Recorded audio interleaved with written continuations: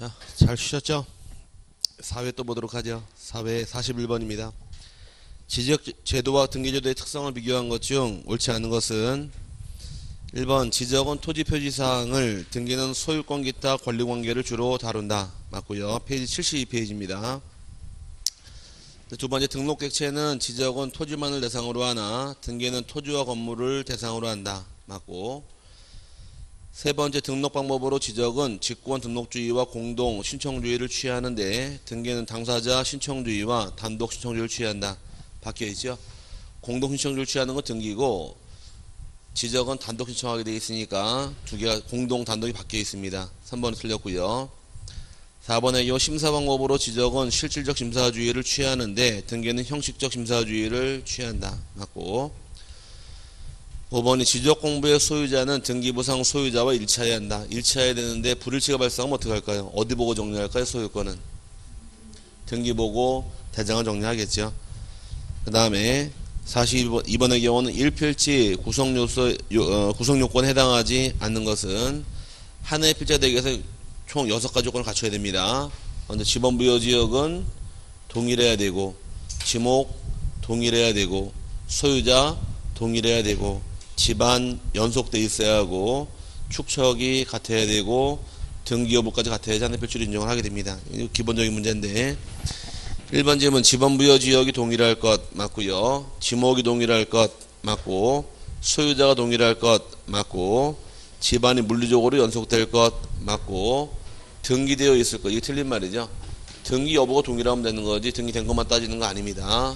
등기된 것도 하나의 필지를 인정하고 미등기도 하나의 필지를 인정을 하는데 등기된 거와 미등기를 같이 필지로 볼 수는 없다가 등기 여부 동일하는 얘기인 거지 등기된 것만 따지는 거 아닙니다. 그래서 미등기도 1필지로 존재할 수가 있으므로 5번은 잘못된 말이고 이런 문제 많이 나왔으면 좋겠죠.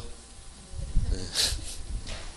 43번 다음 중 지적 공부에 등록하는 지번의 부여 등에 관한 설명으로 틀린 것은 1번 신규 등록의 경우에 대상 토지가 이미 등록된 토지와 멀리 떨어져 있어서 등록된 토지의 본본의 부본을 부여하는 것이 불합리한 경우에는 그 지번 부여 지역의 최종 본본의 다음 순번부터 본본으로 하여 순차적으로 지번을 부여할 수 있다. 예외 규정 두 번째입니다. 거리상으로 멀리 떨어져 있는 경우는 예외적으로 최종 본본 다음 번호부터 본본만으로 부여할 수 있다. 맞고 두 번째 지번은 아랍의 숫자로 표기하되 임야대장 및 임야도에 등록하는 토지의 지번은 숫자 앞에 산자를 붙인다. 맞았나요?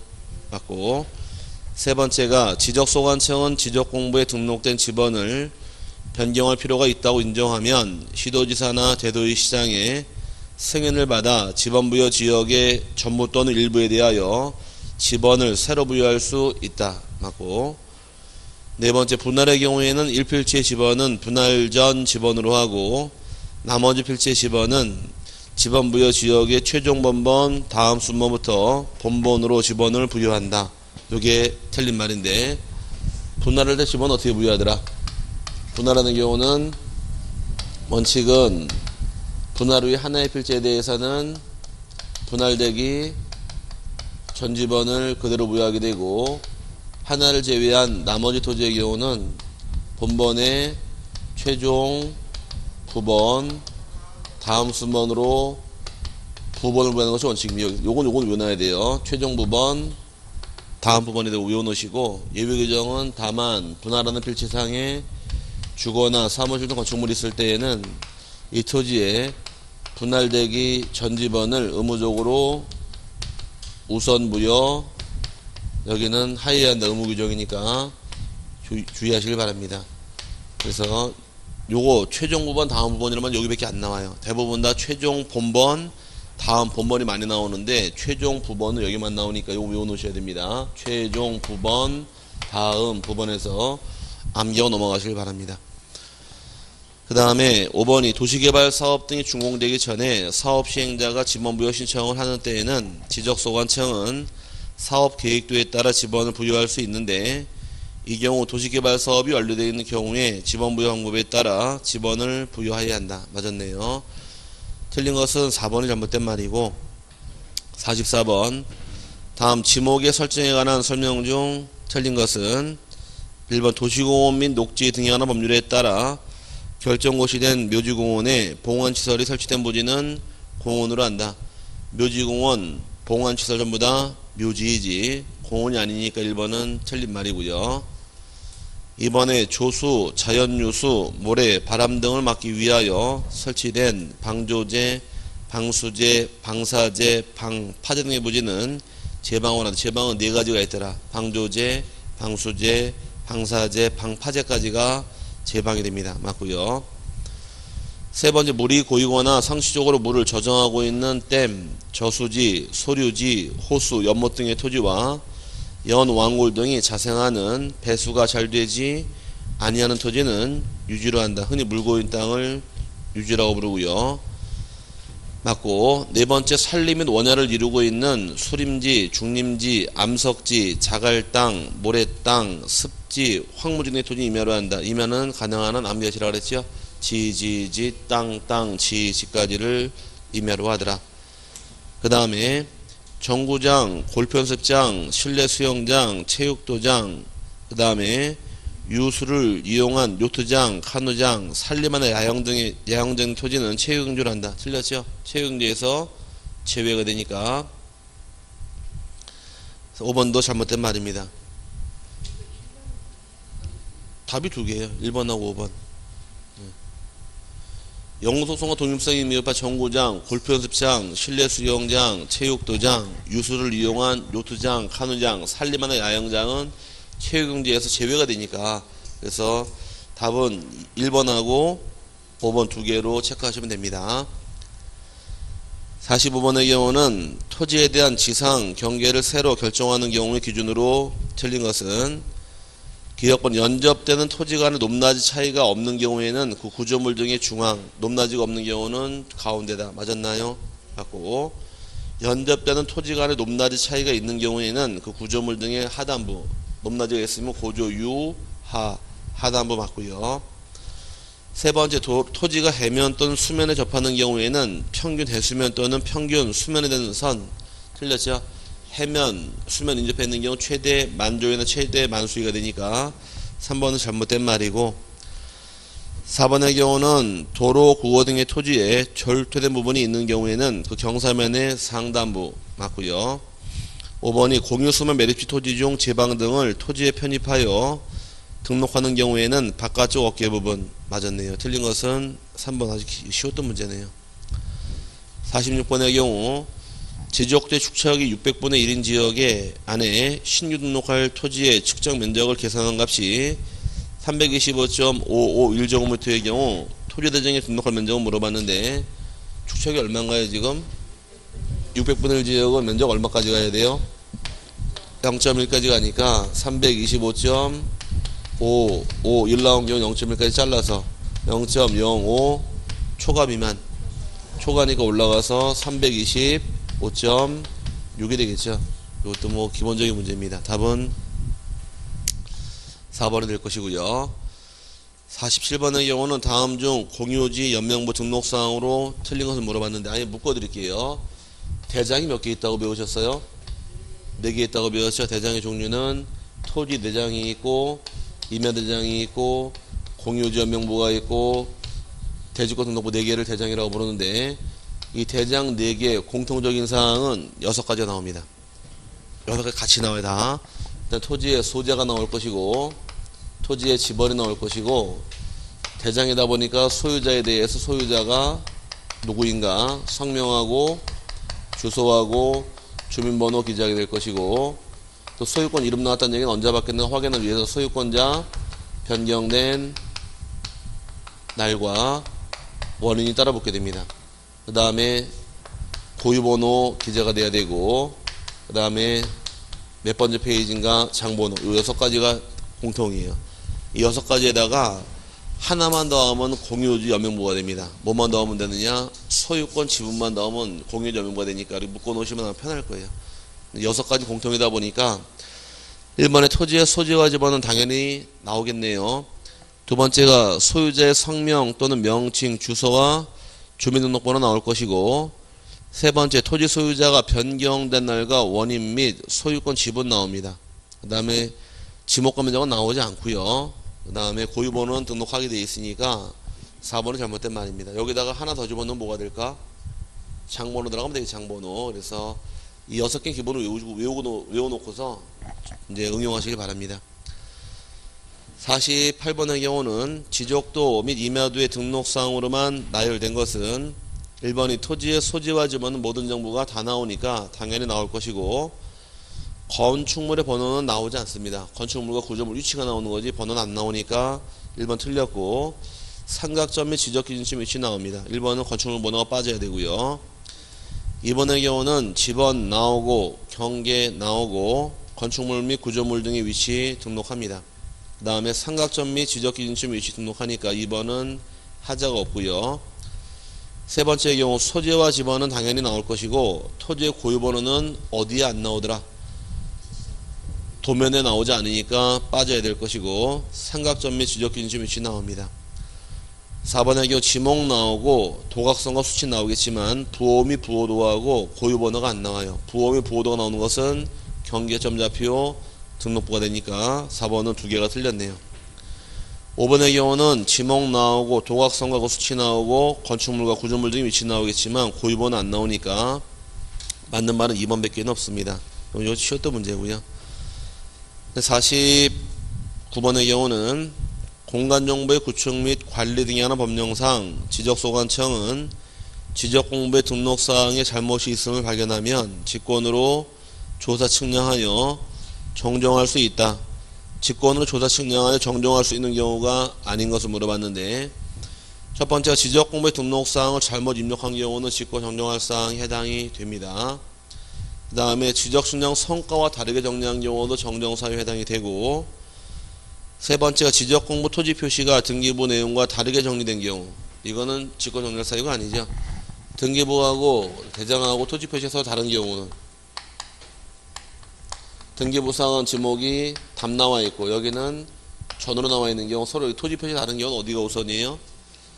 대장이 우선 얘가 우선이에요. 얘가 우선이니까 이 답을 뭘로 고쳐야 돼요? 전으로 변경 등기할 사유인 거지 대장을 정리할 사유가 아니니까 이건 변경 등기 대상이 되므로 요 답은 3번의 답입니다.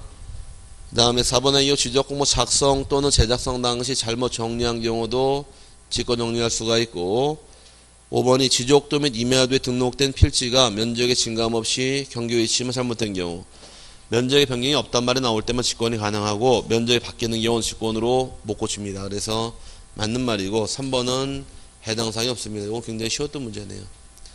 더 쉬운 게 50번인데 와 진짜 이렇게만 나와주면 진짜 퀴즈를 모르겠네 자 공간정보의 구축 및 관리 등에 관한 법령상 지적소관청은 토지 이동 등으로 토지의 표시 변경에 관한 등기를 할 필요가 있는 경우에는 지체 없이 관할 등기관서에 그 등기를 촉탁하여야 한다.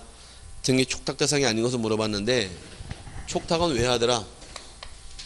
촉탁하는 이유는 이것 때문에 그래요. 토지 표시 맞추려고. 오케이? 그럼 토지에 관한 사항은 어디가 우선이에요? 대장을 먼저 정리한다, 등기를 나중에 정리하다 보니까 등기를 맞추기 목적이 촉탁하는 목적인데 촉탁한다는 얘기는 전제 조건이 등기부가 있어야 됩니다. 두 번째 등기되는 사항을 촉탁하는 것이 여기에 대상이에요. 그럼 거꾸로 등기부가 없으면 촉탁할 필요 없겠네요. 그럼 토지동사용 등기부가 없는 것은 신규 등록은 등기부가 없으면 촉탁할 필요가 없고 등기사항은 네 가지인데 토지의 소재, 그 다음에 지번, 지목, 면적은 촉탁이 들어가는데 문제는 등기사항이 아닌 것들은 경계가 바뀐다거나 또는 좌표가 바뀌는 경우는 촉탁할 필요가 없다가 됩니다. 등기할 사항이 아니니까. 그럼 등기할 사항은 네 가지만 촉탁 들어가면 뭐 요거만 기억해도 상관없어요. 촉탁할 사항은 소재, 지번, 지목, 면적 등 하나 바뀌면 촉탁이 들어가니까 네 가지 이외에는 촉탁하지 않습니다. 답은 이 둘 중에 하나가 답이에요. 그럼 신규 등록은 답이 되니까 1번이 답이 될 것이고 그 다음에 51번과 52번은 측량 쪽과 설명드린 거네요. 지적 측량에 관한 설명으로 틀린 것은 1번 토지 소유자 등 이한개인은 지적 측량을 하의할 필요가 있는 경우에는 지적 측량 수행자에게 해당 지적 측량을 의뢰하여야 한다. 측량은 누구한테 의뢰하실 것? 지적 측량 수행자에게 의뢰해라. 맞고요. 두 번째, 지적 측량은 기초 측량 및 세부 측량으로 구분한다. 맞고.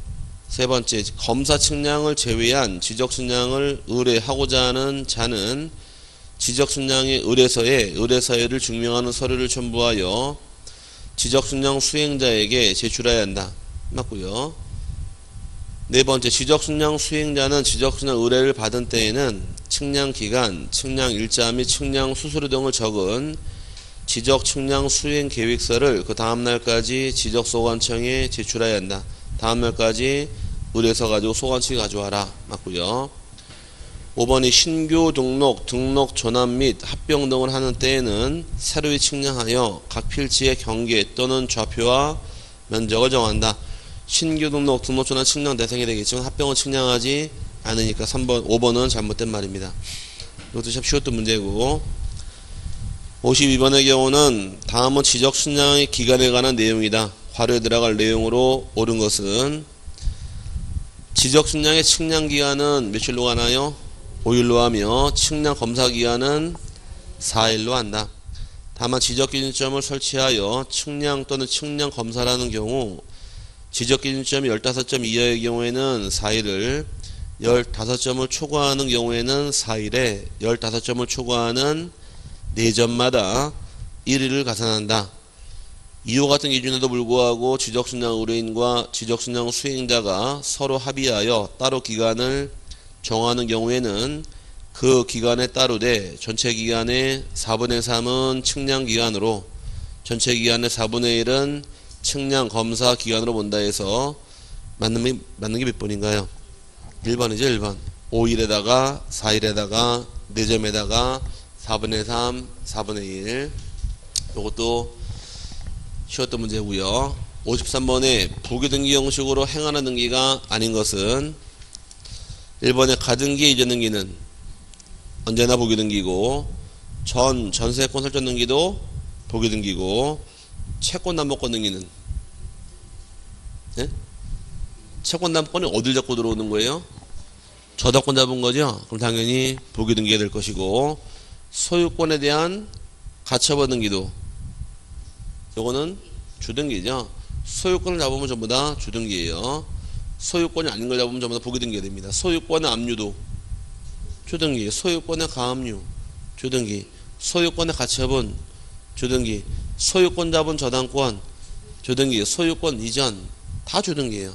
그럼 소유권이 아닌 것들은 전세권 이전은 보기등기, 전세권 자본 압류, 보기등기, 저당권의 가압류, 보기등기, 지상권의 가처분, 보기등기, 소유권을 잡고 나오면 다 주등기고 소유권이 아닌 걸 잡으면 전부 다 보기등기 방식입니다. 그래서 4번은 주등기 사유고 저당권 변경 등기는 원칙은 보기등기 사유고 원칙은 그 다음에 예외 규정이 2항기에 승낙서 있을 때에는 그제 승, 이제 승낙서 있으면 보기 등기 없으면 주등기로 가는데 언제나 주등기로 가는 것은 4번의 답이 되는 겁니다.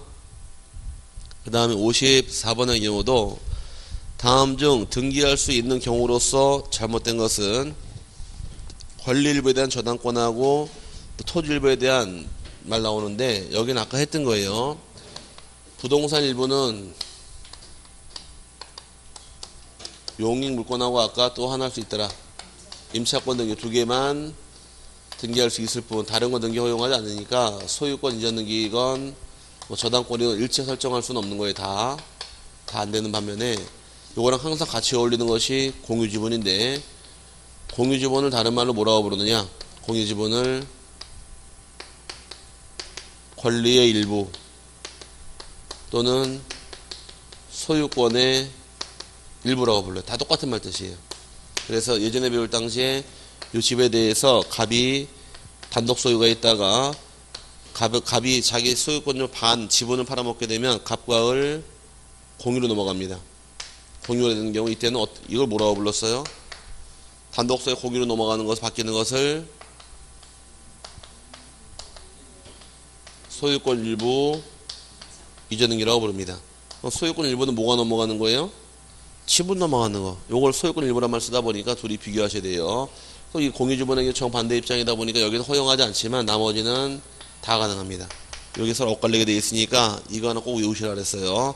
방한가 세줄 수 있어요. 담보 제공할 수는 없다와 지분은 정 반대다만 이해하시면 이런 문제는 그냥 주워 먹는 등입니다.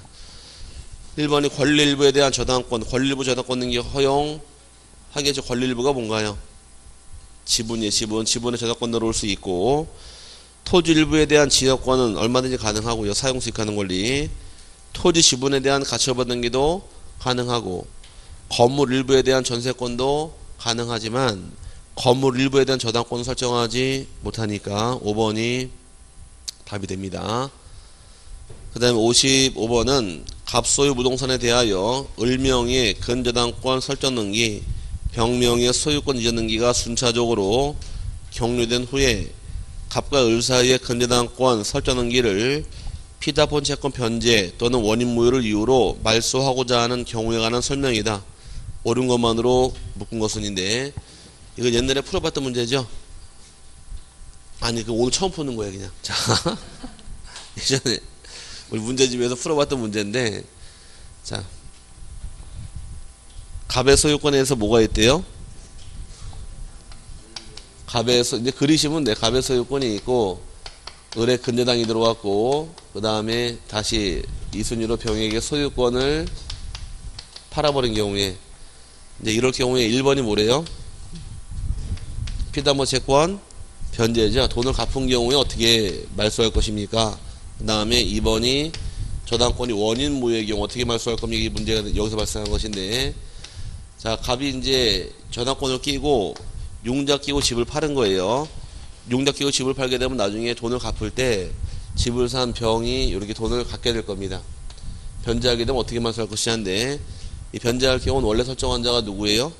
갑이죠. 갑하고 저당권자 을이 둘이 말소할 수도 있고 반대로 현재 소유자 병하고 을이 말소할 수도 있기 때문에 말소는 둘 중에 하나 공동으로 가면 되는 겁니다.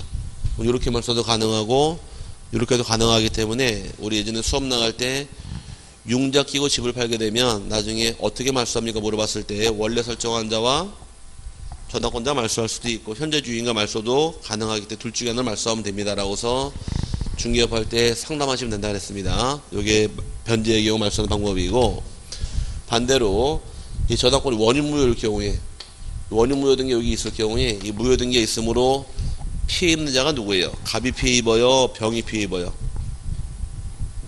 원인 무효 등기가 지금 등기부상 실행이 돼 있을 때 무효 등기 저당권이 등기부상 등기돼 있을 때 현재 피해 입는 자가 갑이냐 병이냐 그걸 따져보는 거예요 지금.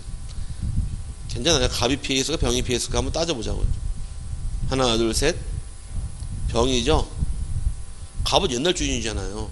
현재 주인 누구예요? 병이 은행과 대출 받으러 갔더니 어 이 저당권 때문에 돈 안 빌려주겠대요. 그럼 무효 등기 있으므로 좀내 권리 침해가 되는 건 병이지 갑이 아니잖아요 병 입장에서 소유권의 침해가 되니까 물권적 청구권 행사할 수 있는데 지금 소유권의 방해가 되기 때문에 물권적 방해 제거 청구권 행사하는 겁니다. 그럼 청구권 행사의 상대방은 현재 소유자인 병하고 저당권자 을이 같이 가는 게 방법이에요. 둘이서.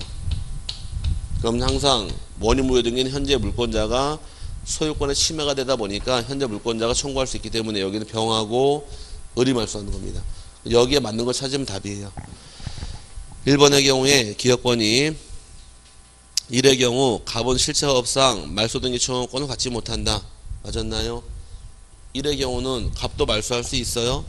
그럼 청구권 갖고 있네요. 1번 틀렸고 기업권은 니은 2의 경우는 갑은 말소 등기 등기 권리자가 될 수 없다. 2의 경우에 갑은 될 수가 없네요. 여기 누구만 신청하니까 병하고 을만 신청하니까 맞는 말이고 그 다음에 디귿번호 1의 경우 갑 또는 병은 을과 공동으로 말소 등기를 신청할 수 있다. 1의 경우는 갑 또는 병은 을과 공동으로 말소할 수 있다. 맞는 말이고 리을번호 2의 경우 을은 단독으로 말소 등기를 신청할 수 있다. 틀렸네요. 맞는 것은 니은번하고 디귿번 두 개가 맞는 말이고 나머지 좀 틀린 말인데 이건 참 어려웠던 옛날 기출 문제였었고 지금 이거를 잘 내요. 시험 지문에서 중개업 하다가 융자 끼고 집을 팔았을 때 의뢰인들이 이 저당권 어떻게 말소합니까 물어보면 알려줘야 될 거 아니에요. 그러니까 원래 설정한 자하고 이렇게 말소할 수도 있고 이렇게 말소도 가능합니다. 이렇게 말- 설명해 주면 될 겁니다. 여기 방법이니까 여기 일단 그럼 요거는 융자 끼고 집을 파는 건가요? 오케이? 그럼 요건 누가 바뀐 거예요 지금?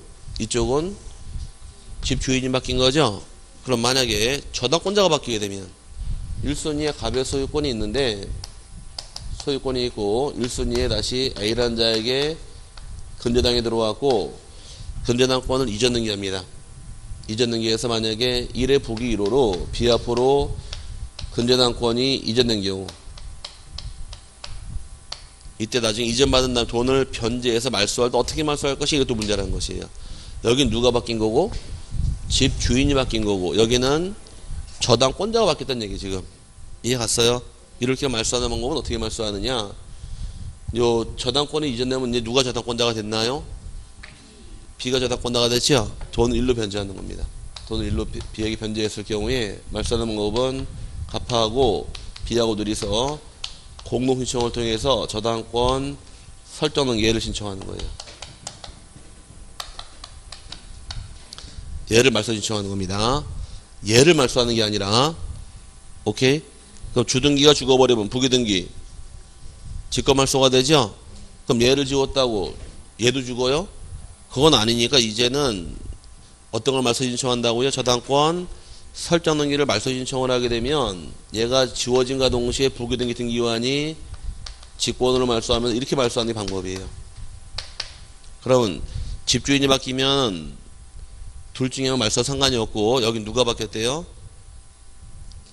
근저당권자가 바뀌었죠? 이때는 이전받은 자하고 이전받은 둘이서 공동 신청하는데 어떤 걸 말소하느냐 주, 주등기인 저당권 설정 등 얘를 말소 신청하는 거예요. 이걸 신청하는 것이고 그 주등기가 죽어버리면 부기등기 등기관이 직권 말소하니까 이런 절차를 말소하는 겁니다. 이 얘를 신청하는 게 아니라 이해 갔어요? 그럼 두 개 같이 보셔야 돼. 따로따로 비교해서 융자 끼고 집 팔았습니다. 근데 말로 떠들고 넘어가자고요. 융자 끼고 끼고 집 팔게 되면 어떻게 말소하는 것이고 원래 설정한 자와 현재 주인이 같이 말소할 수도 있고 오케이? 여기는 저당권자가 바뀌는 경우는 설정자와 이전받은 자 둘이서 같이 말소하되 어떤 걸 말소하더라? 저당권 설정 등기를 말소 신청하는 순간 주등기가 죽으면 보기등기 누가 말소해요? 직권 말소가 들어가니까 얘를 신청하는 게 아니라 이걸 신청하는 거예요. 안다스탠드 이런 관계가 서로 입장 바뀐 경우에 말소하는 방- 방법이다 보니까 이 두 개를 잘 냅니다 돌아가면서 그 다음에 56번의 경우 구분 건물에 관한 등기 신청 정보의 내용이 아닌 것은 1번 대지권이 있을 때 그 권리 표시 적어라 당연하고요. 두 번째 한동 건물의 소재와 지번 당연히 기재합니다.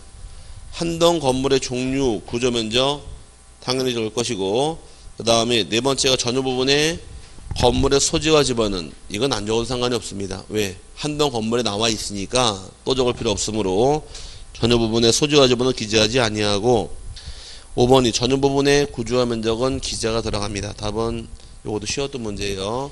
한동의 소재와 지번 나와 있으면 501호 소재 지번 적을 필요가 없어요. 그래서 아까 했던 거 기억나세요? 101동 501호일 경우에 한동 건물 전체에 표지부가 있고 501호 전유 부분 표지부가 있을 경우에 한동 표지부 기재할 사항은 한동 건물에 대해서 소재 기재하고 지번 기재하고 구조하고 종류하고 면적을 기재하는데 전유 부분은 똑같은 거 겹치는 거 적을 필요 없으니까 소재 지번 기재하지 않고 구조만 기재해주고 501호 구조에다가 종류 아파트 똑같은 거 적지 않고 면적만 나옵니다. 아까 한번 제가 썼었는데 그래서 그럼 전유 부분 표지는 뭐만 나와요? 구조하고 면적만 나오는 거지 소재 지번 나오는 거 아닙니다. 그래서 틀린 말이고요. 4번이 5번의 전유 부분의 구조와 면적은 등록 등기를 합니다. 그래서 틀린 것은 4번이 되겠죠. 넘어가서 57번 등기소에서 등기관이 등기 권리자 신청에 의하여 다음 등기를 마쳤을 때에는 등기표 정보를 작성해야 한다. 틀린 것은 아까 등기표 정보 작성하는 경우는 기억나세요? 한번 또 쓸까요? 쓰고 잡아내자고요. 잊어버렸을 테니까. 등기불정보 작성하는 경우는 등기 관리자가 신청한 경우만 정보를 작성하게 되는데 일단 권리에 대해서 보조 등기하고 설정 등기하고 이전 등기하는 정보를 작성하더라. 기억나세요? 그 다음에 권리에 대해서 보조는 빠지고 설정하고 이전 등기에 대해서 가등기하는 경우도 정보가 나올 것이고 권리자를 추가하거나 또 권리자가 변경해내는 경우가 있다. 추가하는 경우 뭘로 이해하시고 공유로 이해하시라 그랬고 변경하는 건 합의로 이해하시라 그랬습니다. 이걸 주는 것이 대상이고 여기 없으면 정보 주는 것 아니라 그랬어요. 기억나세요? 예, 그래서 여기 이제 해당 안 되는 것만 잡아내시면 됩니다. 1번에 소유권 보존 등기나 소유권 이전 등기라는 경우 소유권 보전, 소유권 이전 전부 다 들어와 있고 두 번째 경우는 전세권 설정하는 경우 설정 등기도 해당이 되고요. 그 다음에 소유권 이전 청구권 가등기하는 경우도 가등기도 정보를 줘라. 그 다음에 4번의 경우는 부동산 표시의 변경, 경등 등기하는 경우 부동산 표시는 표제부 등기는 여기 없죠. 4번이 답이고 5번의 경우는 단독 소유를 갑을 공유로 경정하는 등기나 합의자가 추가된 합의명인 표시에 변경 등기하는 경우 요거네요. 합의는 추가할 때 변경 등기하는 것이 공유는 이전 등기하다 보니까 이렇게 바뀌는 경우도 전부 다 나와야 되므로 답은 4번이 답이 됩니다. 그 다음에 58번의 경우 미등기 토지에 대하여 자기 명의로 소유권 보존 등기를 신청할 수 없는 자는 1번이 토지대장, 임야대장 또는 건축물 대장의 최초의 소유자로 등록되어 있는 자, 대장상 최초 소유자 보존 등기할 수 있고 두 번째 미등기 토지 지적 공무상 국으로부터 소유권 이전 등록을 받은 자 맞았나요? 예. 유일의 국가로부터 이전받은 자이지만 토지의 경우는 등기 신청할 자격 인정받으니까 맞고요. 세 번째 확정 판결에 의하여 자기의 소유권을 증명하는 자 맞고 이때 확정 판결은 확인 판결, 이행 판결, 형성 판결 어떤 걸 의미하나요? 다 가능하죠? 다. 자, 네 번째가 수용으로 인하여 소, 토지 소유권을 취득하였음을 증명하는 자 해당이 되고 5번이 특별 자치도지사, 시장, 군수 또는 구청장 확인에 의하여 자기의 소유권을 증명하는 자 이거는 토지가 아니라 건물만 대상이다 보니까 5번은 답이 됩니다. 그 다음에 59번 토지 수용으로 인한 소유권 이전 등기를 할때 등기관의 직권으로 말소할 수 없는 등기는 물어봤는데 아까 몇 가지 기억하시라 그랬어요? 두 가지가 답이에요 항상 수용 등기 직권 말소 못하는 것은 지역권 등기하고 또 하나가 선순위 소유권 여기서 말하는 지역권은 유역지일까 승역지일까? 이거 유역지 수용입니다. 승역지 수용은 소멸돼요. 이 그림 가지고 이해하면 되겠죠? 그림 가지고 이렇게 해서 필체 두 개가 있을 경우에 이게 유역지고 승역지가 있을 경우 아까 질문하셨던 거 이거예요. 요만큼의 도로가 있더라 쓰고 있는데 얘를 만약에 수용한 경우도 있고 얘를 수용하는 경우도 있더란 점이에요. 오케이? 그럼 얘가 수용되면 소유권 이전 등기 들어와 버리겠네요. 그죠? 그럼 지역권 수반성에서 당연히 따라 넘어오는 거지 소멸되는 것이 아니란 얘기입니다 근데 이 땅이 수용이 돼버리면 사업에 지장이 돼버리니까 이건 다 소멸시켜버려요 그럼 이 땅 승역지가 수용되는 경우는 지역권은 소멸이에요 그럼 얘 길 어떻게 합니까? 길은 알아서 내줘요. 내주고 일단 사업에 지정받다 보니 어, 일단 없어버립니다. 그럼 수반성을 때 넘어가는 것은 유역지가 수용되는 경우만 넘어가는 거지 승역지는 소멸되기 때문에 여기까지 뭐 타고 들어가지는 않지만 어쨌든 간에 법조문상 표현이 수용되는 부동산을 위해서 존재하는 지역권은 살아있다요. 뭐라고요? 수용되는 부동산을 위해서 존재하는 지역권. 그러면 얘가 수용되는 경우는 얘를 위해 존재하는 지역권이 있어요? 요건 살아있다는 얘기고 얘를 수용하는 경우 얘한테 위에 존재하는 지역권이 있어요? 피해되는 지역권이 있어요? 얘한테는 제한되잖아요 지금 이건 얘를 위해 존재하는 지역권이 얘에게 피해되는 지역권이 이건 없어지는 거예요 그러면 요거만 살아있는 겁니다 그래서 지역권 유역지란 말이 따라붙은 것이었었고 또 하나가 수용되기 전에 소유권 그래서 다른 말로 선순위 소유권 다 살아있는 겁니다 두개 외우시라 그랬어요 답은 나왔겠죠 1번 저당권 설정 등기는 직권 말소. 두 번째가 유효지 지역권 등기는 살아 있고요. 세 번째 소유권에 대한 가처분 등기 직권 말소. 지상권 설정 등기도 직권 말소할 것이고 수용 개시일 이후에 경료된 소유권 이전 등기도 수용 후에 들어오면 다 직권 말소예요.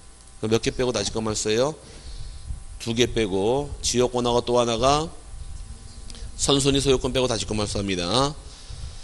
60번의 경우는 근저당 등기에 관한 설명 중 틀린 것은 1번이 피담보 채권의 확정 전에 채권자 지위가 전부 양도된 경우에는 근저당권 이전 등기의 등기 원인을 계약 양도로 기재한다. 근저당 등기 신청할 때는 등기원은 어떻게 기재합니까? 그걸 잘 물어보는데 지금 채권이 확정 전이래요, 후래요? 확정 전이죠. 근저당 등기는 근저당권 이전 등기할 때 피담보 채권이 확정되기 전에도 이전 등기할 수 있고 후도 이전 등기할 수가 있는데 전에 이전 등기할 때 등기원을 뭘로 기재할 것이고 후는 뭘로 기재하면 이걸 모르는 게 문제예요. 전일 경우는 계약의 양도나 또는 계약의 인수를 통해서 이전 등기 신청할 수가 있다. 이게 원인 저울 내용이고 본 적 있어요 이거? 아마 제 기억에 유학집 150페이지가량 보면 나오지 않을까 싶은데 거기 보면 거기 빡 문제 바로 위에 써놓은 게 있으니까 거기 나와 있지 않나요? 네, 거기 나와 있을 거야 아마 제 기억에 후일 경우는 확정 채권의 양도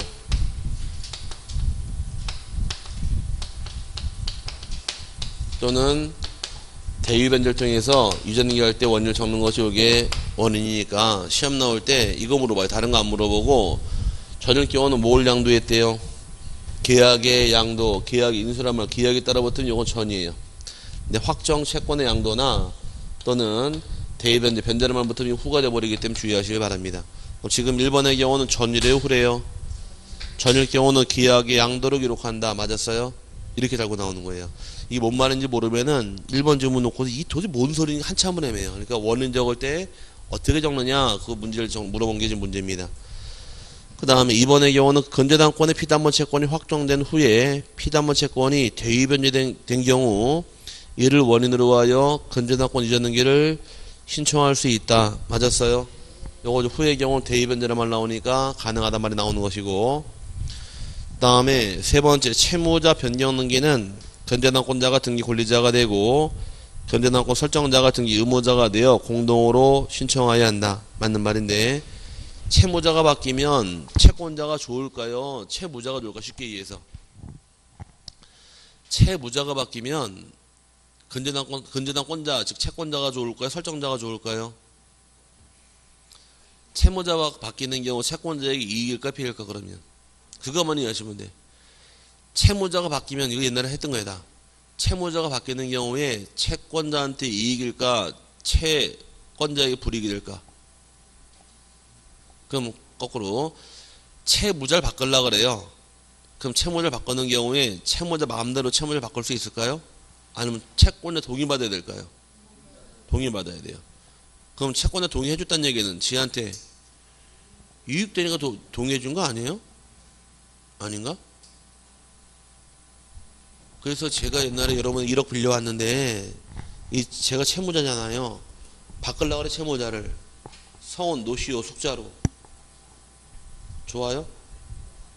나쁘잖아. 그거 승낙 안 할 거 아니에요. 근데 저보다 돈 더 많은 사람이 채무자가 되겠대요. 그거 좋을 거 아니에요. 그럼 여러분이 이건 승낙하겠지만 노시오 숙자는 승낙 안 할 거 아니에요. 그럼 여러분이 승낙했다는 얘기는 여러분에게 이익되니까. 그럼 채권자가 일반적으로 건재당권이니까 건재당권자가 권리자가 되는 것이고 상대방 설정자가 등기 의무자가 되는 거예요. 돈 빌려준 사람이 채권자 아니에요? 그 사람이 은행 저당권자 아닌가요? 그럼 저당권자가 권리자가 되니까 상대방 설정자가 등기 의무자가 된다 그 뜻이에요. 그래서 맞는 말이고 그 다음에 음 4번에 채무자 변경 등기를 신청하는 경우에는 후순위 저당권자 등 이항계의 내 승낙서를 제공해야. 이게 틀린 말인데 만약에 채무자가 등기되어 있다. 채무자 바뀔 겁니다. 1순위에 저당권 등기되어 있고 채무자가 만약에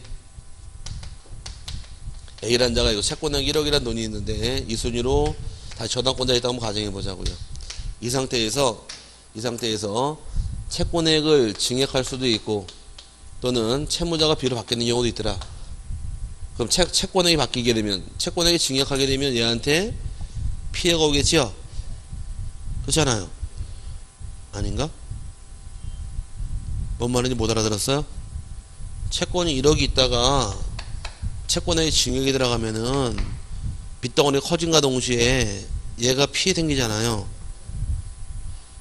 이해 안 갔어요? 이순이가 얘가 돈을 많이 가져가면 가져서 우소면제로 떨어지니까 얘가 증액이 났으면 얘가 이해 관계이 돼버린 거예요 여기선. 오케이? 근데 채무자가 A를 B로 바뀌었대요.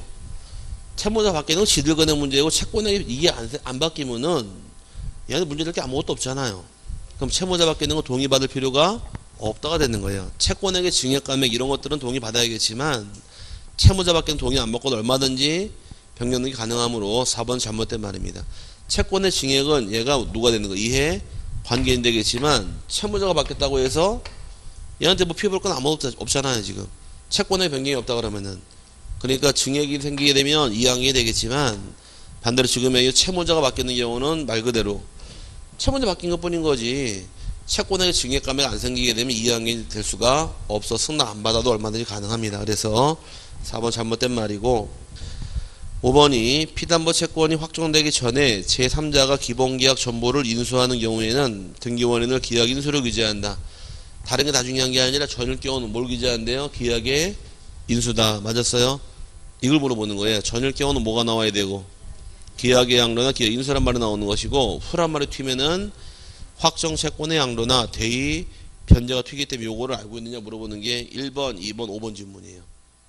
근데 그 이걸 미리 알고 들어가시면 뭔 말인지 잡아내는데 이걸 모르고 들어갔다가는 이 말 뜻하는 말을 몰라요. 그래서 꼭 외워 놓으셔야 됩니다.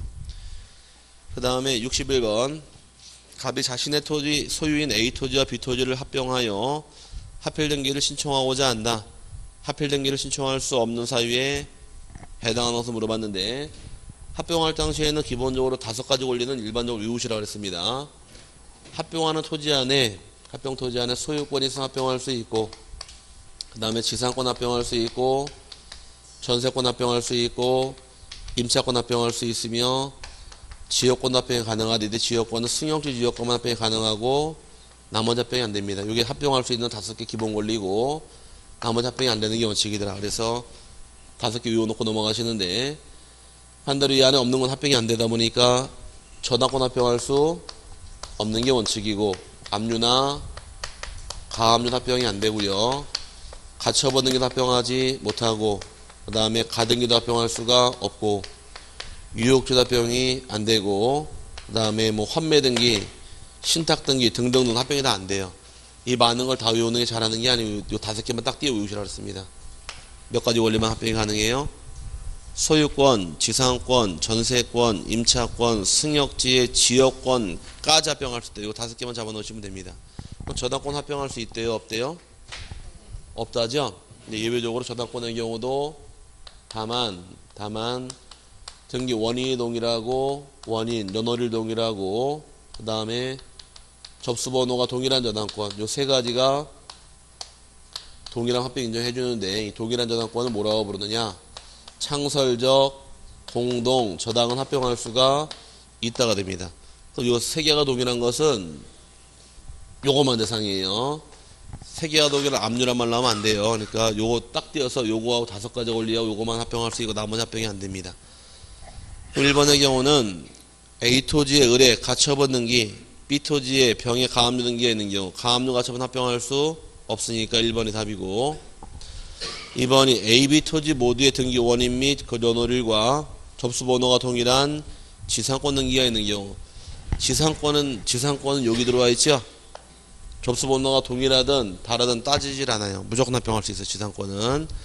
그 다음에 세 번째 AB 토지 모두의 등기 원인 및그 연월일과 접수번호가 동일한 의뢰 저당권 등기가 있는 경우 이 저당권 등기는 세 개가 동일하면 합병할 수 있으니까 가능하고 4번의 경우 A 토지의 을의 임차권 등기, B 토지의 병의 전세권 등기가 있는 경우 임차권, 전세권 합병할 수 있는 권리고 그 다음에 5번이 A 토지의 을의 지역권 등기, 그 다음에 B 토지의 병의 전세권 등기 합병할 수 있으니까 여기끼리 합병, 섞이는 합병이 가능한 거예요. 그래서 답은 1번이 답이 됩니다. 그 다음에 62번 등기관이 직권으로 말소할 수 없는 등기는 1번이 갑을 공동 소유 건물에 대한 을 지분만에 대한 소유권 보존 등기 지분만 보존 등기는 사건이 등기할 것이 아닌 때로 직권말소할 등기고요. 두 번째 갑 소유 건물에 대한 을 명의의 가등기에 의한 본등기를 하지 않겠다는 특약 이것도 법이 허용하지 않는 특약이니까 사건이 등기할 것이 아닌 때 직권말소 그 다음에 세 번째가 채권자 의뢰 등기 신청에 의한 갑소유 토지에 대한 가압류 등기는 요것도 직권 말소입니다. 사건이 등기할, 등기할 것이 아닌 때요. 어, 등기할 수 있을 것 같은데. 그죠? 아, 대답을 해야지 알려주지. 대답 안 하면 나도 말 안 할까 기분 나빠서. 요 등기할 수 있을 것 같은데. 그렇지 않아요? 네. 그러면 유약직 가지고 계시면 위급한 나오면 어디다 전화해요? 위급한 상황은 11 도둑 맞으셨나 봐. 자. 119 가니까 사건이 등기할 것이 아닌데 박스 있지 않아요? 등기 규칙이라고? 아, 119 가시라 그러고 119 페이지 가시라 그런 거예요. 자. 거의 사건이 등기할 것이 아닌 때 보니까 여덟 번째 관공서 또는 법원이 촉탁할 등기를 신청한 경우도 직권말소예요. 그 가압류라는 등기는 촉탁할 등기예요, 신청할 등기예요. 촉탁할 등기니까 신청한 경우도 요것도 직권말소라는 얘기입니다. 뭔 말인지 갔어요? 그래서 가압류는 신청할 등기가 아니라 법원 촉탁 들어올 등기잖아요. 그 신청했으니까 요것도 사건이 등기할 것이 아닌 때 해당이 되어서 직권말소가 되는 겁니다.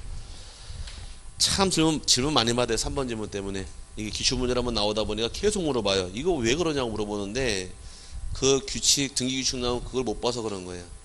관공서나 법원이 촉탁할 등기를 신청한 경우도 사건이 등기할 것이 아닌 때 해당되므로 직권말소합니다.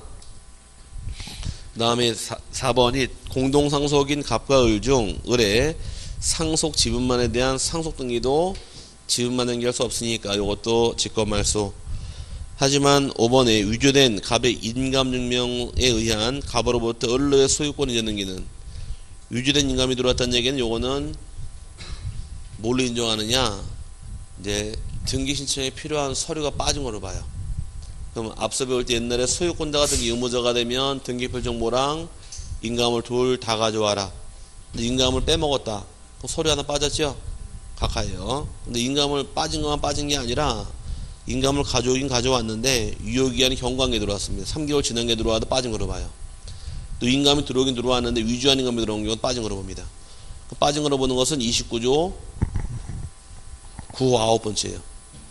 그 아홉 번째가 아니라 그게 아니라 그거는 29조 2호로 풀어놓은 것이고 29조 9호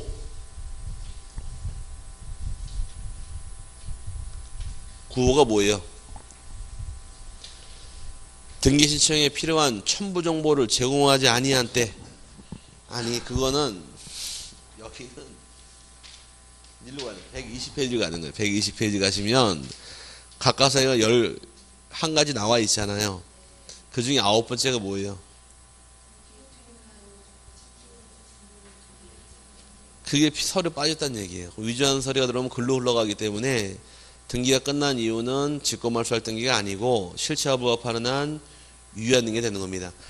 119페이지 나와 있는 그 박스는 등기할 수 없는 걸 법이 묶어놓은 것이고 각각 사유는 11가지가 29조 규정이 되어 있는데 그 중에 아홉 번째가 첨부 정보를 제공하지 아니한다는 얘기입니다. 그래서 실체와 부합하는 유효이기 때문에 직권말소가 안 돼요.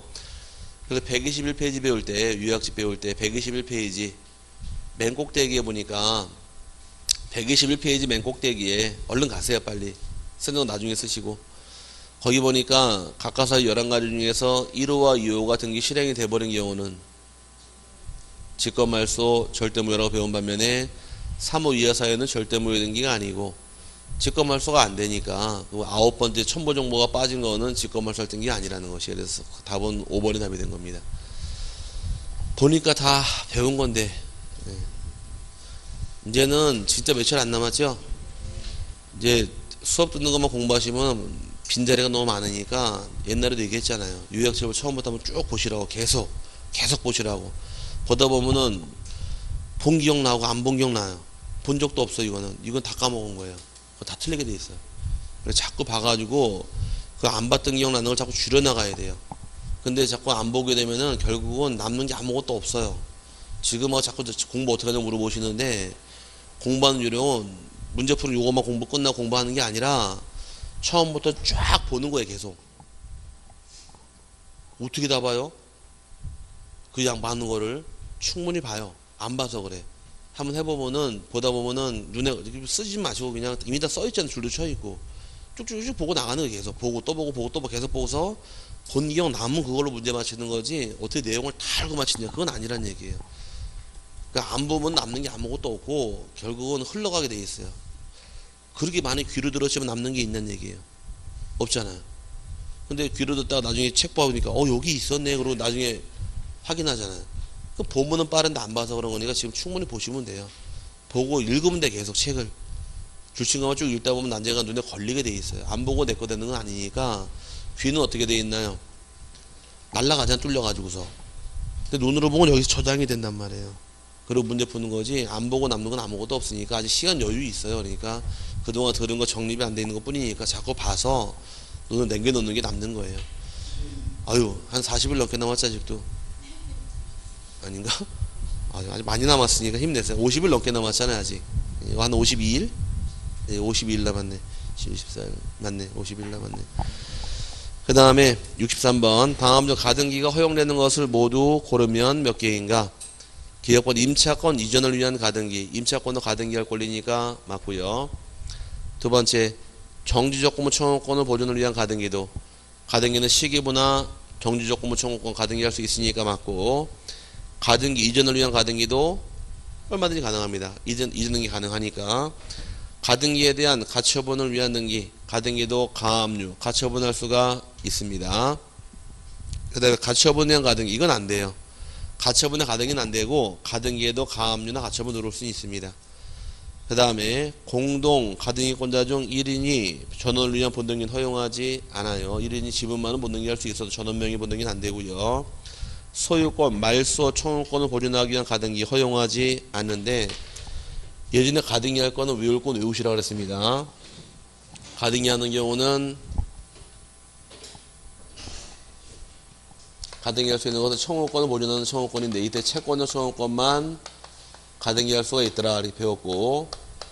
가등기하는 청구권의 경우 세 개로 세분하게 되면 일단 권리에 대해 가지고 있는 권리의 설정, 권리의 이전, 권리의 변경, 권리의 소멸에 대해서 가등기 할 수 있다고 배웠으며 시기부하고 또는 정지, 조건부 청구권 가등기 할 수가 있고 그 다음에 장래 확정할 청구권 가등기 할 수 있더라 이게 다른 말로 예약은 가등기 할 수가 있습니다. 이렇게 외우시고 여기 있으면 가등기 가능하고 없으면 가등기 안 된다 그랬어요.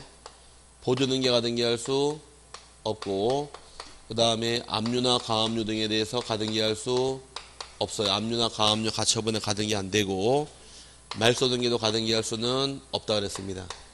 그 다음에 시기부의 반대말은 종기부 정지 조건 반대말은 해제 조건부도 가등기 할 수는 없으며 이 법에 나오는 기준이고 가등기에도 가등기 할 수 있어요. 가등기에 가등기 할 수 있으며 가등기에도 이전 등기 가능하므로 이전 등기, 이전 가등기 다 가능한데 다 부교 등기 형식으로 실행할 수가 있다가 대법원 판례 입장이고 가등기라는 등기에 대해서 채권자들이 가등기를 가압류할 수 있고 가등기에 대해서 이전 금지 가처분 등기할 수가 있습니다. 그 다음에 이중으로 가등기할 수도 있다. 이게 가등기할 수 있는 경우도 못하는 거는 가등기에 의한 본등기를 금지시키는 본등기 금지에 가처분 등기는 허용하지 이건 낳는 거라 그랬습니다. 이제 그러면 압류, 가압류에 가등기 들어올 수는 없지만 가등기에 가압류가 들어갈 수는 있는 거예요. 그래서 채권자가 돈 받을 게 있는 경우에 뭘 잡았더라? 가등기를 가압류하더라. 이해 가세요? 그래서 가등기에 가압류가 들어올 수는 있어도 압류, 가압류, 가, 가처분에 가등기 못 들어가는 거예요. 요거만 가등기 하니까. 그래서 요거 외우시라 그랬죠?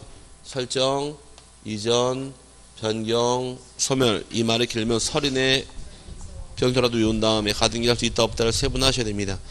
그럼 할 수 있는 것은 기역, 니은, 디귿, 리을은 허용하겠지만 미음번, 비읍번, 시읍번은 허용하지 않으니까 답은 4개가 답이 되어서 3번이 답이 됩니다. 그 다음에 64번 가등기 후 본등기 전에 맞춰진 다음의 등기 중 등기관이 소유권 이전 등기 청구권 보존 가등기에 의하여 소유권 이전의 본등기를 한 경우에 직권으로 말소 하나 등기는 물어봤는데 1번이 가등기상 권리를 목적으로 하는 가처분 등기 놔둬야 돼 직권 말소예요. 자 페이지 보시면 나중에 요약식 배울 때 134페이지 예? 134 134 134페이지 가시게 되면 하단부에 소유권 이전 청구권 보존 가등기에 의하여 본등기를 하게 되면 다음 각 후의 등기는 본등기와 양립할 수 없으므로 직권 말소한다. 134페이지에 제2의 가등기도 직권 말소, 소유권 이전도 직권 말소, 저, 제, 저당권도 제압류권 등기 직권 말소, 가등기에 대로 임차권도 직권 말소, 가압류, 가처분, 경매, 상속 다 직권말소하되 끝부분에 단단다만 기억나세요? 가등기를 가압류한 경우 가등기에 가처분 들어온 경우 가등기 전에 들어온 건 손댈 수가 없더라고 세 가지가 예외로 살아있다 그랬으니 그거 물어보는 것이 문제가 그럼 1번의 경우에 가등기상 권리를 목적으로 하는 가처분 등이 살아있나요? 6번에 다니고 가등기 전에 맞춰진 저당권에 의한 임의 경, 어, 경매 개시 결정 등기 요거는 7번의 다만이고 그 다음에 가등기 전에 맞춰진 담보가등기에 의한 주택 임차권 어, 경- 임의 경매 개시 결정 등기도 요것도 가등기 전에 들어왔죠? 7번의 다만이고 가등기권자에게 대항할 수 있는 주택 임차권 등기 주택 임차권 가등기에 대항할 수 있다는 얘기는 선순위라는 얘기입니다. 가등기 전에 들어왔으니까 살아있는 것이고요. 하지만 가등기 당시에 소유자에 대한 가처분 등기는 6번의 가처분 등기 직권말소니까 6번이 다 직권말소예요. 6번에 5번이 뭐예요? 아니 그 134페이지에 5번이 뭐예요? 가압류 6번에 가처분 7번에 경매개시 다 직권말소예요. 소유권 잡고 들어오면은 하지만 가등기 잡은 가처분 가압류 살했던 얘기인 거지 소유권 잡은 가처분 다 직권말소예요. 오케이? 그럼 이제 6, 5번이 답이 되는 겁니다. 답은 5번이고 여기까지가 문제인데 뒤로 갈수록 조금 어려워졌죠? 아마 다음에 나가면 더 어려울 겁니다. 자꾸 봐야 돼요. 자, 가등결제 본능기 하면 살아있는 거 몇 개 살아있대요? 크게? 단단, 다만. 다섯 개가 아니라 단단, 다만 거기 잡고 가시라는 얘기예요. 소유권을 잡은 가압류 가처분, 경매개시 다 직권 말써요. 하지만 가압류 가 처분이 가등기를 잡은 경우 살아있다는 얘기가 되는 것이고 경매개시도 직권 말소가 원칙이 돼 가등기 전에 들어와 있으면 직권 말소 당하지 않는다. 왜 직권 말소하는 범위가 가등기 후 본등기 전까지니까. 이해 갔어요? 근데 그거 잡고 넘어가시면서 단단 남아 그걸 잘 내고 들어오니까 그거는 잡을 거 잡으셔야 됩니다. 여기까지가 오늘 진도고요. 다음 주에는 6회하고 8회 보도록 하죠. 6회, 8회. 또 와서 아마 시험 보시면 될 겁니다. 미리. 오늘 여기까지 하고 마치도록 하겠습니다. 조심해 들어가시고 2주 후에 뵐게요. 자, 수고하셨습니다.